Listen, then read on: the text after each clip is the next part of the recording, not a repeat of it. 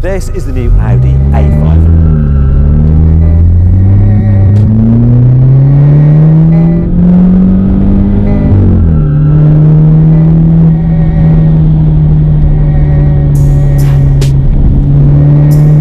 Audi is also fitted with stiffer